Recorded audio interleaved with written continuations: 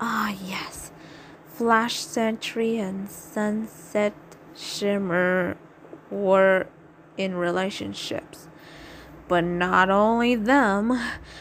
I think Twilight Sparkle is Sunset Shimmer's friend.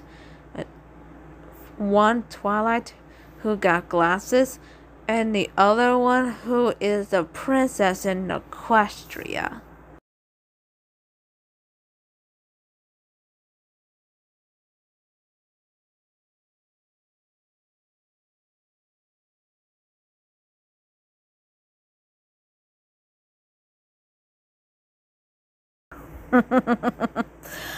what a clever, talented teenage girl.